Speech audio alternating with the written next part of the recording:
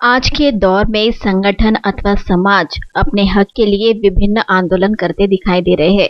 इसी कड़ी में कुम्हार समाज भी उतर आया है।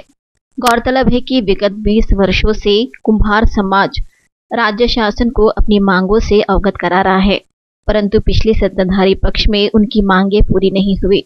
अब भाजपा की सत्ता में कुम्हार समाज को भाजपा सरकार से काफ़ी उम्मीदें हैं, क्योंकि कुम्हार समाज ने भाजपा पक्ष को काफ़ी समर्थन दिया है। जिसके चलते राज्य के 80 लाख कुम्हार समाज को भाजपा सरकार और वित्त नियोजन एवं वन राज्य मंत्री से काफ़ी उम्मीदें हैं।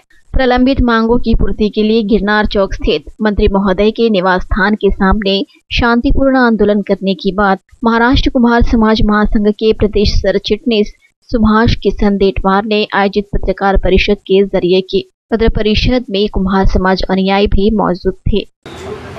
नाव सुभाष किशन तेटवार महाराष्ट्र कुंभार समाज महासंघाचा प्रदेश सरचिटणीस. गेल्या वीस वर्षापासून राज्य शासनाच्या समोर आम्ही आमच्या न्याय मागण्या मागत आहोत. परंतु मागील काँग्रेस राजवटीमध्ये कुंभार समाजाला काही मिळालं नाही. आणि सध्या आलेलं जे राज्यामध्ये सरकार आहे भाजप सरकार या भाजप सरकारकडनं कुंभार समाजाला अनेक अपेक्षा आहेत. त्याचं कारण असं आहे की मागील साठ वर्षामध्ये पहिल्यांदा कुंभार समाजाने जाहीरपणे पाठिंबा निवडणुकीमध्ये भारतीय जनता पक्षाला दिलेला होता. म्हणून राज्यातल्या ऐंशी लाख कुंभार समाजाला या राज्यातल्या बी जे पी सरकारकडनं प्रचंड अपेक्षा आहे.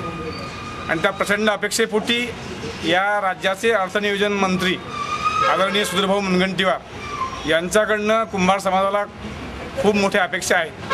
आणि त्या अपेक्षांचं एक साकडं घालण्यासाठी जसं मंदिरामध्ये आपण नवस करतो साकडं घालतो किंवा पूजा करतो तशा प्रकारे मंदिरामध्ये पूजा करतो की म्हणा म्हणून आम्ही सुधीरभाऊंच्या घरासमोर गिरणार चौकामध्ये एक उपोषणाचा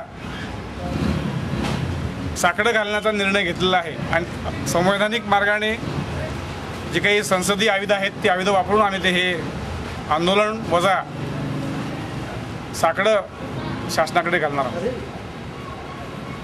Hospital.